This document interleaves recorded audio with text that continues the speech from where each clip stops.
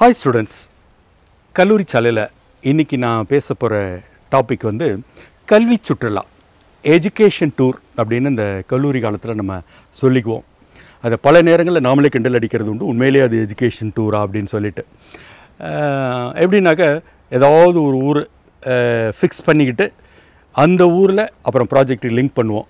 நம்ம வந்து கொடைக்கானல் அப்படின்னு முடிவு எடுத்துகிட்டு அதுக்கு பிறகு கொடைக்கானல் அடிவாரத்தில் இந்த ஃபேக்ட்ரி இருக்குது அதை போய் நம்ம பார்க்க போகிறோம் அப்படின்னு அதை ஒரு எஜுகேஷனோட லிங்க் பண்ண முயற்சி பண்ணுவோம். பண்ணாலும் பல்லையினாலும் அது வந்து கல்வி சுற்றுலா தான் வந்து. என்ன அப்படின்னு கேட்டிங்கன்னா அந்த கல்வி சுற்றுலா வந்து மிஸ் பண்ணக்கூடாத ஒன்று சரி பல நேரங்கள் என்ன ஆகிடுனாக்கா அது எப்படி இருக்குமோ எப்படி இருக்காதோ எங்கள் வீட்டில் என்ன சொல்லுவாங்களோ சொல்ல மாட்டாங்களோ அப்படி இப்படி ஏதாவது ஒரு காரணத்தால் ஒரு சின்ன சதவீதம் பேர் தவிர்ப்பாங்க. தவிர்க்கவே கூட ஷம் ஏன்னா அது பிற்காலத்தில் கிடைக்கவே கிடைக்காது. சரி ஒரு ட்ரெயினில் கூட்டமாக சேர்ந்து ஐம்பது நூறு பேர் நம்மளோட ஃப்ரெண்ட்ஸாக சேர்ந்து போகிறதோ பஸ்ஸில் சேர்ந்து போகிறதோ அங்கே போய் சேர்ந்து தங்கி இருக்கிறதோ சேர்ந்து சுற்றி பார்க்குறதோ இதெல்லாம் வந்து பார்த்திங்கன்னா திரும்ப ஒரு முறை லைஃப்பில் எந்த காரணம் கொண்டும் கிடைக்காது வந்து. அதனால் இது rare opportunity not to be missed சரி ஒரே ஒரு விஷயந்தான் என்ன அப்படின்னு கேட்டிங்கன்னா இந்த மாதிரி நம்ம கூட்டமாக போகிற கல்வி சுற்றுலாவில் தான் ஏராளமான பண்புகள் நமக்கு வெளிப்படும்.